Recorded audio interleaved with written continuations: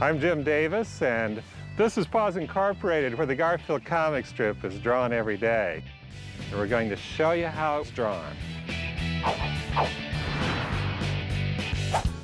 I write the comic strip one week out of the month. And what I've learned is that if I can really focus a week on just the writing of the strip, I can create a month's worth of gags. Garfield writes his own material. I simply edit. It's really uh, getting into this almost meditative state. He has to make me laugh first before I write anything else down. Sometimes the gags don't come as easily as other times, so I do use some tricks to uh, uh, get into a funnier mood. It helps to be rested, by the way. I drink coffee to get the heart pounding. Also, I like to read comic books. When it's all complete in my head, then I start the rough drawing. I hear the voice, I see the characters, and I very quickly try to sketch it out before the image goes away. The trick is actually freeze framing Garfield because he's animated in my head. So I have to stop him in just the appropriate position because I only have three frames to work within. I set the gag up, I twist it, and then I resolve the situation. When I'm done with the thumbnail sketches, then I take them to Eric for penciling. Hi, I'm Eric Reeves, and I do the blue line and lettering for the Garfield comic strip. Okay, what I'm doing now is just interpreting Jim's rough sketch and taking it into a more final look. You can draw circles, you can draw Garfield. We use the cotton glove just simply just to keep our body oils and grease off the surface while we're drawing.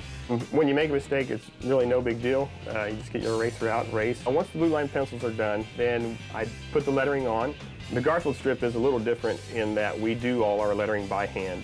So when I sit down and do the lettering, um, just you have that hand feel that you don't get from a computer. You know, every E is not exactly the same. It gives it, you know, just a, a again, just a little bit more character to the strip. Once the lettering is done, then my job is over, and I walk it over to Lars, and he starts on the inking. Hi, my name is Larry Fentz. Some people call me Lars, and I ink the Garfield comic strip.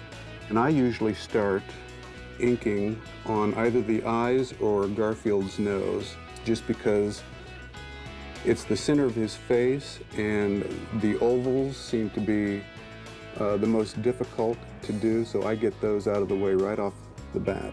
The black line just allows you to see uh, the line work more readily. It uh, prints easier. The blue line would actually drop out, so that's basically a map or a guideline uh, to ink by. This headset uh, allows me to magnify the strip so I can see what I'm inking. I have to be able to control the brush precisely, and it's uh, difficult if you can't see the brush. Well, not everybody has to wear these, just the old guys. The ink dries pretty fast, but I've caught myself going faster than the ink dries. And that's it, we're ready for color. Hi, I'm Tom Howard. I'm the colorist for the Garfield cartoon strip. So I basically have it scanned in, in the computer and then it'll become a digital file and from there it comes into my Photoshop program where I'll start my coloring.